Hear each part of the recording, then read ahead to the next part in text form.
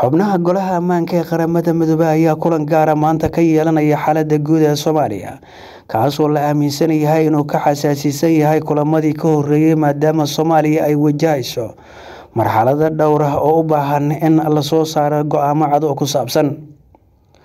Kulanka golaha ammaanka ee qaramada midoobey maanta ayaa daaran ujeedooyin ay ka mid yihiin caddeynta mowqafka golaha ammaanka ee arrimaha doorashada soomaaliya maadaama dowladda federaalka iyo dowlad goboleedyada soomaaliya aynan ku guuleysan dhammaystirka doorashada golayaasha baarlamaanka soomaaliya. Sidoo kale golaha ammaanka waxaa horyaala inay go'aano ka soo saaraan oo ay caddeeyaan mowqafkooda dhinaca amniga soomaaliya iyadoo si gaar ah loo dul istaagayo wixii horumar ah ama dib u dhac ah oo la soo gudboonaaday amniga soomaaliya xubnaha golaha sidoo kale waxaa la filayaa inay caddeeyaan mowqafkooda ku aadan howlgalka amisom. Iyo waxaa howlgalkaasi laga yeelayo wixii ka dambeeya soddon iyo kowda bishan soo socota ee disembar oo uu ku egyahay waqtigii hore ee muddo kordhinta loogu sameeyey howlgalka amisom.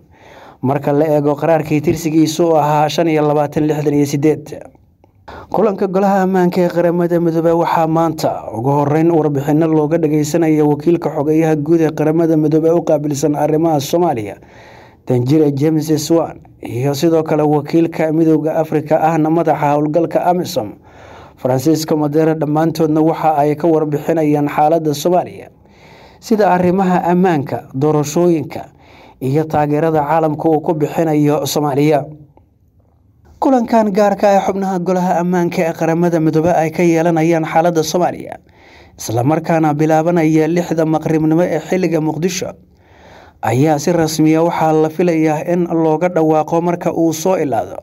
Qaraar ku saabsan in qaramada midoobe ay si rasmiya hoosta uga xariiqday sare u qaadidda iyo kordhinta wakhtiga xayiraada hubka ee saaran soomaaliya maadaama ay soo baxeen eedeymo muujinaya in dowladda iiraan iyo dalal kale ay si sharci daraha ugu soo daabuleen soomaaliya hubkaasoo gacanta u galay kooxaha argagixisada loo aqoonsan yahay ee ka dagaalama soomaaliya.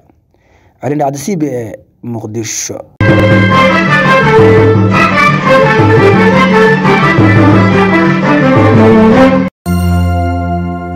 Hadal oo hadal oo ku hadal. Bishii oo dhan toddoba dollar.